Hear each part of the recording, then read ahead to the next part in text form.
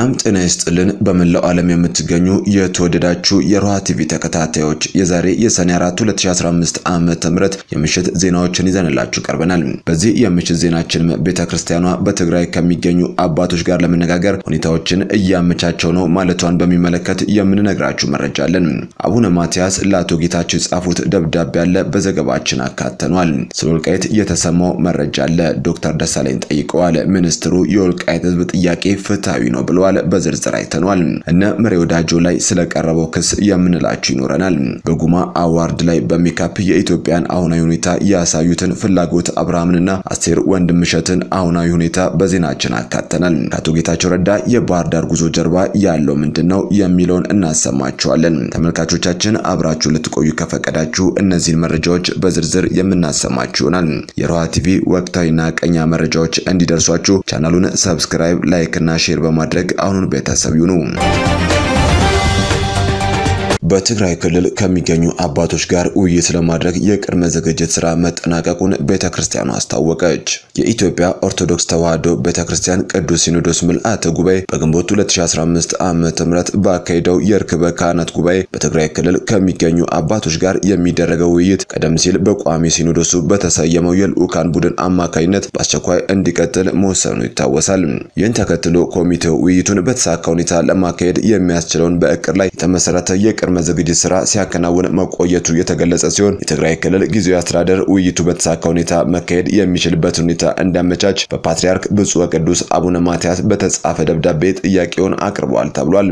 የልዑካን ቡድኑ አባላትም ከቅዱስ ፓትርያርኩ የተጻፈውን ደብዳቤ በአካል በመገኘት ለክልሉ ጊዜያዊ አስተዳደር ፕሬዝዳንት ጽህፈት ቤት በማቅረብ ከሚመለከታቸው የክልሉ የመንግስት ኃላፊዎች ጋር የክልሉ ጊዜያዊ መንግስት ለውይይቱ መሳካት በሚያደርገው ድጋፍ ዙሪያ ውይይት በማድረግ መመለሱ ተገልጿል።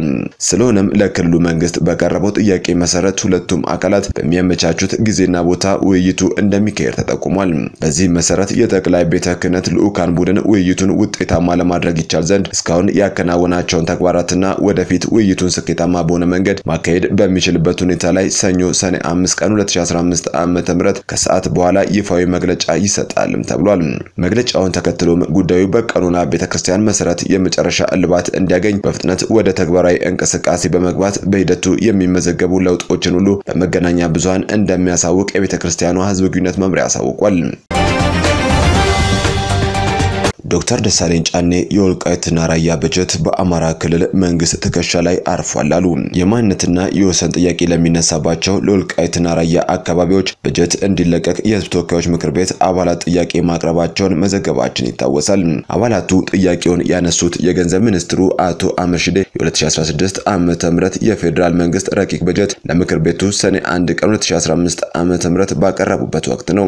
ይህንን የፓርላማ አባላቱን ጥያቄና የገንዘብ ሚኒስትሩን ዝርዝር ምላሽም ሪፖርተር በዛሬው ዕለት በፊት ገጹ ይዞት ወጥቷል። የወልቃይት አካባቢ በኢህአዴግ አገዛዝ ወቅት በትግራይ ክልል ውስጥ የነበረ ሲሆን የሰሜን ኢትዮጵያው ጦርነት ከተከሰተ በኋላ ግን ይገባኛል የሚለው የአማራ ክልል በራሱ በጀት እያስተዳደረው ይገኛል። ለ2016 ዓመተ ምህረት በቀረበው አገራዊ በጀት ረቂቅ ከፌዴራሉ ለክልሎች በሚሰጠው የበጀት ድጎማ የትግራይ ክልል ለቀጣዩ በጀት ዓመት 12.5 ቢሊዮን ብር፣ የአማራ ክልል ደግሞ 45.1 ቢሊዮን ብር ተመድቦላቸዋል። ይሁን እንጂ የወልቃይት አካባቢ በጀት በየትኛውም ክልል ባለመመደቡ ጥያቄ አስነስቷል። በምክር ቤቱ መደበኛ ስብሰባ አቶ መስፍን እርካቤ የተባሉ የምክር ቤት አባል ይህ ህዝብ እንደ ሌሎች የኢትዮጵያ ህዝቦች የመልማትና የማደግ ፍላጎት አለው፣ በኢትዮጵያዊነቱ የሚጠበቅበትን አስተዋጽኦ እያደረገ ያለ ህዝብ ነው። ነገር ግን የዚህ አካባቢ በጀት ባለመመደቡ ህዝቡም አመራሩም እየጠየቀ ነው። በጀቱ ለአማራ ክልል ወይስ ለትግራይ ክልል ተመድቦ ነው ወይስ በራሱ በዞኑ ስም ለመመደብ የታሰበ ነገር አሉ ወይ ሲሉ ጠይቀዋል። በተመሳሳይ የአማራ ብሔራዊ ንቅናቄ አብን አመራርና የፓርላማ አባል ዶክተር ደሳለኝ ጫኔ በበኩላቸው በርካታ ተፈናቃዮችንና በጦርነት ውስጥ የወልቃይት ጠገዴ፣ ሰቲት ሁመራና የራያ ህዝብ የበጀት ፍላጎት ተሸክሞ ያለው የአማራ ክልላዊ መንግስት በመሆኑ ለክልሎች በሚሰጠው ድጎማ ይህ እንዴት ታይቷል ሲሉ ጥያቄ አቅርበዋል። የገንዘብ ሚኒስትሩ አቶ አህመድ ሺዴ የወልቃይትን የበጀት ጥያቄ ሲያብራሩ የህዝቡን ጥያቄ በከፍተኛ ሁኔታ እናውቃለን፣ ጥያቄውን እናከብራለን። የገንዘብ ሚኒስትር ሚና ግን ይሄው ምክር ቤት ያጸደቀውን በጀት ማስተዳደር ብቻ ነው በማለት ምላሽ ሰጥተዋል። እኛ ምንም ምንም አይነት ስልጣን የለንም። በዋነኝነት ግን ለአማራ ክልልም ሆነ ትግራይ ክልል በጀት በፌዴሬሽን ምክር ቤት በቀረበልን ቀመር መሰረት እየሰራን ነው ብለዋል። በመሆኑም የፌዴራል ድጎማ በጀትን ለክልል ማስተላለፍ እንጂ ለዞኖችና ለወረዳዎች በጀት የማስተላለፍ ስልጣኑም ኃላፊነቱም እንደሌላቸው ተናግረዋል። ሁኔታውን ከአማራ ክልልና ከአካባቢው አስተዳደር ጋር በስፋት ውይይት አድርገንበታልም ሲሉ አክለዋል። የፌዴሬሽን ምክር ቤት ህገ መንግስታዊ ስርዓቱን ተከትሎ ኃላፊነቱን ሲወጣና በዚያ መሰረት ቀመር ሲሻሻል የተሻሻለው ቀመር ወጥቶ ደግሞ ይኸው ምክር ቤት የሚያጸድቀው በመሆኑ ከዚህ ህገ መንግስታዊ ስርዓት ውጪ መውጣት አንችልም ብለዋል። ይሁን እንጂ መፍትሄውን ጠያቂዎቹም ያውቁታል ያሉት አቶ አህመድ ሌላው የልማት አጋሮች አምነውና ህገ መንግስታዊ ስርዓትን የተከተለ የመንግስት የፋይናንስ አስተዳደር ስርዓት አለው በማለት የበጀት ድጋፍ የሚያደርግለት መንግስት በመሆኑ ይኸው ምክር ቤት ከሚያቀርበው የመንግስት ፋይናንስ አስተዳደር ስርዓት ውጪ መውጣት አንችልም ካሉ በኋላ የህዝቡ ጥያቄ ፍትሐዊ ቢሆንም ከዚያ ከወጣን ግን በመላ አገሪቱ ላይ ያልተገባ ነገር ነው የሚሆነው ሲሉ የወልቃይትና የራያን ህዝብ የበጀት ጥያቄ ፍትሐዊ ሲሉ ገልጸውታል። አቃቢ ህግ ፋኖ መሪ ወዳጆና ሰፈር መለስን ጨምሮ በ51 ፋኖች፣ ምሁራን፣ ጋዜጠኞች፣ የማህበረሰብ አንቂዎች ላይ ክስ መሰረተ። የአማራ ፋኖ አንድነት በጎንደር የስራ አስፈጻሚውና የአማራ ፋኖ አንድነት ምክር ቤት ዋና ሰብሳቢው ሻለቃ ሰፈር መለስ፣ የምስራቅ አማራ ፋኖ ዋና አዛዥ ሻለቃ መሪ ወዳጆና ኮሎኔል ፈንታውን ሙሃባን ጨምሮ በ51 ሰዎች ላይ አቃቢ ህግ ክስ እንደመሰረተባቸው አማራ ሚዲያ ማዕከል ዘግቧል። አቃቢ ህግ ብዛታቸው 51 የሚሆኑ የአማራ ፋኖ አመራሮችና አባላትን ምሁራንን፣ ጋዜጠኞችን፣ የማህበረሰብ አንቂዎችን፣ የጉልበት ሰራተኞችንና ሌሎችንም በአንድ መዝገብ በማካተት ነው ክስ የመሰረተው።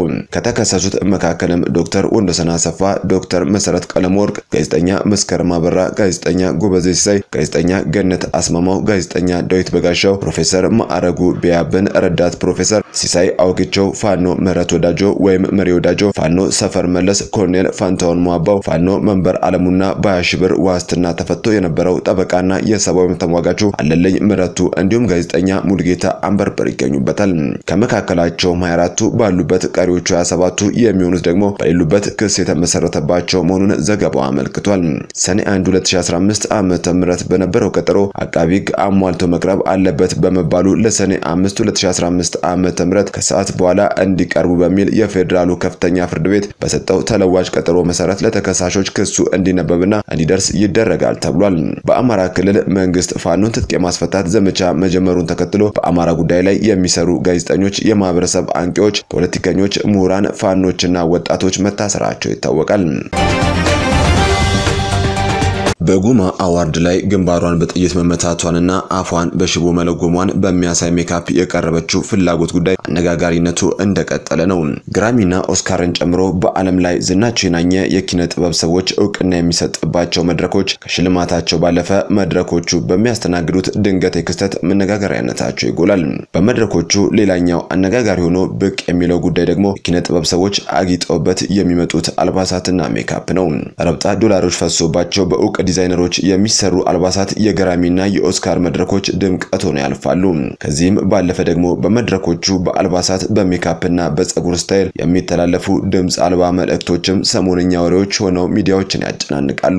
በእኛም ሀገር ቀዳሚዎቹ የኪነ ጥበብ ስራዎችንና ባለሙያዎችን ሸላሚ መድረኮች ለዛና ጉማ አዋርድ እንደዚህ አይነት ክስተቶችን እያስተናገዱ ነው። ባለፈው ዓመት በጉማ አዋርድ መድረክ ላይ በአካላዊ ገጽታዋ ለሚደፈሩ ሴት እህቶች ድምፅ የሆነችው አርቲስት አነጋጋሪ ሆና ነበር። በዘንድሮ የጉማ አዋርድ ደግሞ በሜካፕ ግንባሯን በጥይት ተመታና አፏን በሽቦ ተለጉማ የኢትዮጵያን አሁናዊ ሁኔታ ያሳየችው የቴሌቪዥን ፕሮግራም አዘጋጇና ቲክቶከሯ ፍላጎት አብርሃምና አንገቷን ተነቅሳ በአይኗ ጥቁር እንባ ሲወርድ ያሳየችው ቲክቶከርና ተዋናይት አስቴር ወንድምሸት ጉዳይ አነጋጋሪ ሆኗል። ከትናንት በስቲያ ምሽት ጀምሮ በማህበራዊ ሚዲያው መነጋገሪያ የነበረው ይህ የፍላጎትና የአስቴር ሜካፕ የጉማ አዋርድ አዘጋጁን ዮናስ ብርሃነ መዋን ሲያሳስር በፍላጎት አብርሃም ላይ የእስር ማዘዣ አስወጥቷል። በተቃራኒው በርካታ የማህበራዊ ሚዲያ ተጠቃሚዎች ደግሞ የ profile ምስላቸውን በፍላጎትና አስቴር የሜካፕ ፎቶ ሲቀይሩ ተመልክተናል። የቴሌቪዥን ፕሮግራም አዘጋጇ በቲክቶክ ልጅ ማኛ በሚል መጠሪያው የምትታወቀው እጩ ዶክተር ፍላጎት አብርሃም በስነ ስርዓቱ አፏን ሸብባና ግንባሯን በጥይት እንደተመታ ሰው በሜካፕ ተሰርታ መቅረቧም የመንግስት ሰዎችን ብቻ ሳይሆን በመድረኩ የተገኙ የስርዓቱ ደጋፊዎችንም ጭምር አበሳጭቷል። ለዚህም ባልተገባ መልኩ ሲያሾፉባትና ምላሳቸው ያላቸውን ጭምር በማውጣት ሲያንጓጥጡ ታይቷል። ጉማ አዋርድ ሰኔ 2 2015 ዓመተ ምህረት በርካታ የሙያው ታዳሚዎችና ጥሪ የተደረገላቸው እንግዶች በተገኙበት ያለምንም ችግር የፊልም ሽልማት ስነ ስርዓቱ ቢካሄድም የጉማ አዋርድን ያዘጋጀው ዮናስ ብርሃነ መዋ በዚሁ ምሽት ከተካሄደው የሽልማት ስነ ስርዓት በኋላ ለእስር ተዳርጓል። በዕለቱ ከሽልማቱ በኋላ በነበረው ዝግጅት ከቤተሰቦቹ ጋር የነበረው ዮናስ እኩለ ሌሊት አካባቢ ማንነታቸው ባልታወቀ ሲቪል በለበሱ ሰዎች ከባለቤቱ ጋር ተይዞ የነበረ ሲሆን ባለቤቱን ለቀው አዘጋጁን ዮናስ ብርሃነ መዋን ምሽቱን በአዲስ አበባ አንበሳ ጋራዥ አካባቢ ባለ ፖሊስ ጣቢያ ማደሩን ለማወቅ ተችሏል። ከትናንት በስቲያ ምሽት ከስካይላይት ሆቴል ሲቪል በለበሱ ሰዎች ከቦሌ ክፍለ ከተማ ፖሊስ መምሪያ የተወሰዱት ዮናስ ብርሃነ መዋ ትናንት ረፋዱን አዲስ አበባ የመጀመሪያ ደረጃ ቦሌ ምድብ ፍርድ ቤት ቀርቧል። ፖሊስ ዮናስ ባዘጋጀው ፕሮግራም ላይ አሁን በአካል ፍርድ ቤት ካልቀረቡ ግለሰብ ጋር በመሆን ህዝብን በመንግስት ላይ የሚያስነሳ የፖለቲካ ስራ ሰርተዋል የሚል ክስ በማቅረብ ለምርመራ 14 ቀን ቀጠሮ ጠይቆበታል። ጉዳዩን የተመለከተው የአዲስ አበባ የመጀመሪያ ደረጃ ፍርድ ቤት አቶ ዮናስ የቀረበባቸው ክስ ዋስትና የማያስከለክላቸው በመሆኑ የቦሌ ክፍለ ከተማ መምሪያ ፖሊስ የጠየቀውን የ14 ቀን የምርመራ ጊዜ ውድቅ በማድረግ በመታወቂያና በ5000 ብር ዋስትና እንዲለቀቁ ብይን ቢሰጥም በፌዴራል ፖሊስ ወደ ሶስተኛ እስር ቤት እንደተወሰዱ ለማወቅ ተችሏል። የቴሌቪዥን ፕሮግራም አዘጋጇ ፍላጎት አብርሃም ወይም የልጅ ማኛ ከዚህ ምስል ጋር በተያያዘ ትናንት ረፋዱን የእስር ማዘዣ ወጥቶባታለም ተብሏል።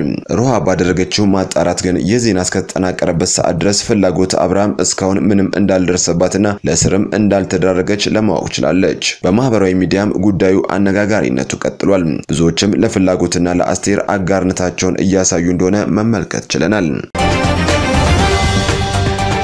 በአቶ ጌታቸው ረዳ የሚመራ ልዑክ ወደ አማራ ክልል መቀመጫ ባህር ዳር ገባ።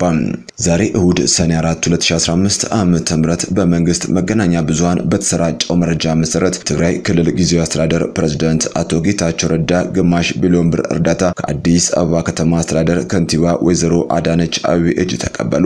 ይህም ከአንድ ዓመት በፊት የወይዘሮ አዳነች የትግራይ ተወላጆችን ፈቅደን ባኖርናቸው የሚለውንና በራሳቸው ህገ መንግስት መሰረት ለምን አይገነጠልም ያሉትን ንግግርና አቶ ጌታቸው ለዚህ ንግግር ሲሰጡት የነበረውን ዘለፋ አዘል ምላሽ በማስታወስ ብዙዎች የሞተ ተጎዳ አይነት አስተያየት ሲሰጡ አርፍደዋል። በመቀጠል ደግሞ እነዚሁ የመንግስት የመገናኛ ብዙሃኖች አቶ ጌታቸው ረዳ ወደ ባህር ዳር ማቅናታቸውን ዘገቡ።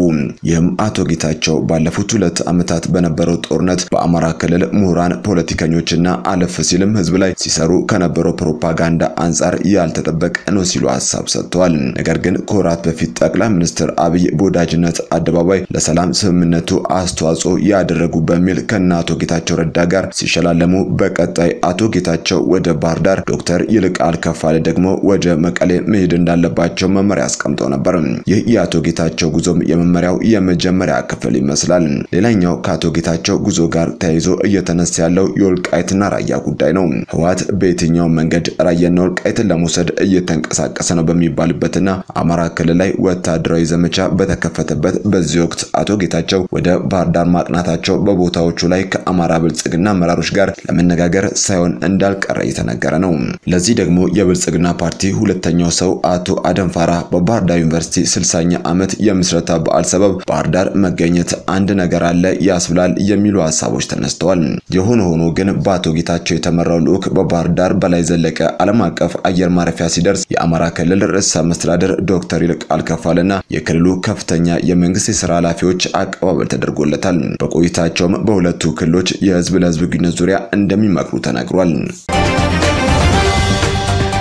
በእስር ላይ ያለው የባልደራስ አባሉ ወጣት ቢንያም ታደሰ ወደ አፋር መላኩ ተሰማ። የባልደራስ ለእውነተኛ ዴሞክራሲ ፓርቲ አባል የሆነው ወጣት ቢንያም ታደሰ ወይም ቢኒ ሳንጃው እስር ላይ እያለ የተወሰዱበትን ስልክና ሌሎች ንብረቶቹን እንዲወስድ ፖሊስ በስልክ ጠርቶ በሄደበት መታሰሩ ይታወቃል። ሆኖም ዛሬ የደረሰኝ መረጃ ብሎ ባልደራስ ለእውነተኛ ዴሞክራሲ ፓርቲ እንደገለጸው የአዲስ አበባ ፖሊስ እስረኛውን ወደ አፋር ሰመራ ልኮ ለአፋር መደበኛ ፖሊስ አሳልፎ ሰጥቶታል ብሏል። በወጣት ቢንያም በሌሎች የባልደራስ አባላት ላይና የገዢውን ቡድን ህገወጥ ድርጊት በሚቃወሙ ዜጎች ላይ የሚደረገውን አፈናና ተጨማሪ ህገወጥ ድርጊት እንደሚያወግዝ ፓርቲው ጨምሮ አስታውቋል። እስረኞቹም በአስቸኳይ እንዲፈቱ አሳስቧል። ተመልካቾቻችን የሰዓቱ የሮሃ ቲቪ ዜናዎች ተከታተላችኋቸውን ይመስሉ ነበር። አብራችሁን ስለነበራችሁ ከልብ እናመሰግናለን። ሰላም